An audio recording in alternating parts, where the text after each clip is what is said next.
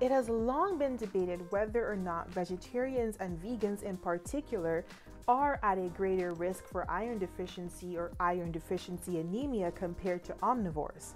This is because the type of iron consumed in fully plant based diets, non heme iron, is poorly absorbed in the body when compared to heme iron from animal sources. It has been estimated that 2% to 20% of non heme iron gets absorbed, while for heme iron, the absorption rate, also called the bioavailability, is around 15 to 35%. Now, those ranges overlap pretty significantly, but you can see that it's easier for our bodies to absorb the type of iron that we get from animal sources. But does this really matter? Let's see what the data says. According to a recent review published in 2016, it appears that yes, vegetarians do have a higher prevalence of iron deficiency and iron deficiency anemia when compared to omnivores. In this review, the researchers looked at 13 studies conducted across many countries, including Australia, the United States, and China. In these studies, they measured iron status based on ferritin concentrations and hemoglobin. I will only be focusing on the serum ferritin measure for the purposes of this video. Now, in these studies, the most typical threshold for ferritin was less than 12 micrograms per liter, being the defining factor for does someone have a deficiency or not. Across studies, the prevalence of iron deficiency was almost always higher in vegetarians when compared to non vegetarians. Researchers also found that vegetarian females had lower serum ferritin values on average than their male counterparts, especially among those who did not take any supplements. For vegans, the outcomes were even more concerning. In a study of 39 lacto ovo vegetarian, 10 vegan, and 25 omnivorous Australian men, it was found that when iron deficiency was defined as less than 25 nanograms per milliliter, the prevalence for vegans, vegetarians, and non vegetarians was 30%, 20.5%, and 0%, respectively. When the cutoff was lowered to 12 nanograms per milliliter, it was found that 25% of vegans were iron deficient, 3% of vegetarians were also iron deficient, and 0% of the non vegetarians were iron deficient. In another study conducted in the United States, assessing outcomes for 15 vegan and 10 omnivorous women, the differences were less pronounced.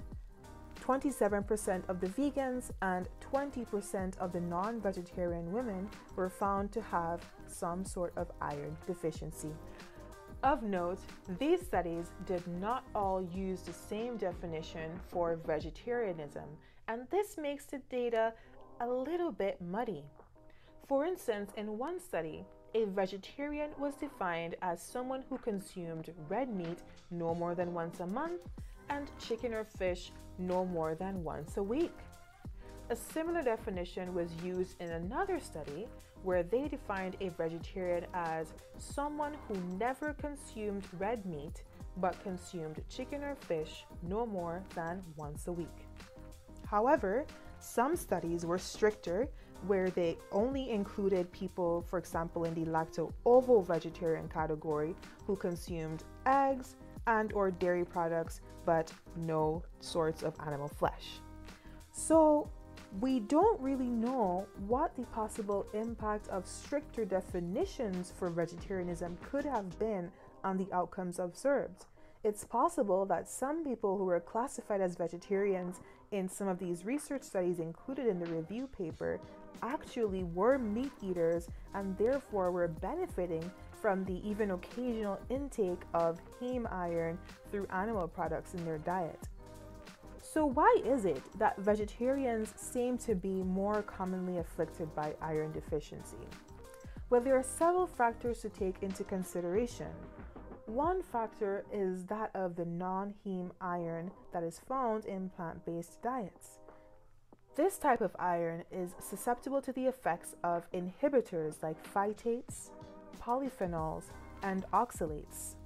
The irony of nature is that the best sources of iron in a vegetarian diet are also the richest sources of these substances that block iron absorption.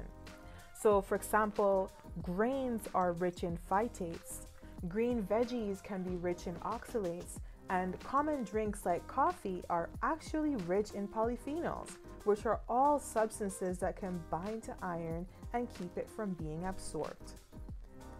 It is no surprise that vegetarian women had a greater prevalence of iron deficiency when compared to vegetarian men, considering that many of these studies included women who were still at an age where they would be expected to be menstruating. So, in essence, blood loss and insufficient intake combined would lead to a greater prevalence of iron deficiency.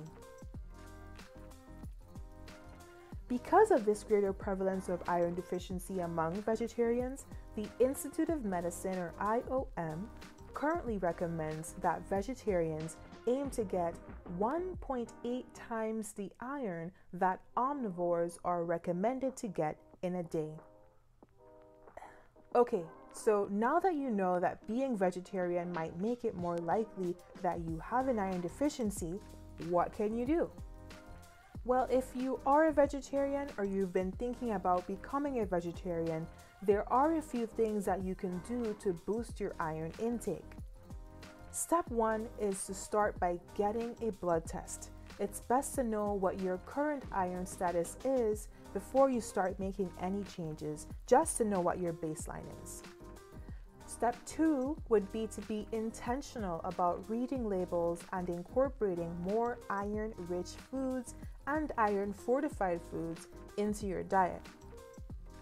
Step three would be to practice soaking, sprouting, and boiling your legumes. This helps to get rid of some of the anti nutrients found in these foods. Step four would be to consume a source of vitamin C with your iron rich foods. Generally, a serving of fruit or fruit juice will be just enough. Step five would be to have tea and coffee separate from your meals, about one to two hours before or one to two hours after. This way, you can get the benefits of the polyphenols that they provide without blocking the absorption of iron from your vegetarian meal. Alright, so that is it for today's video. If you learned anything new or think that someone you care about could benefit from this information, then definitely share the video, give it a like, and subscribe for more nutrition content. Take care.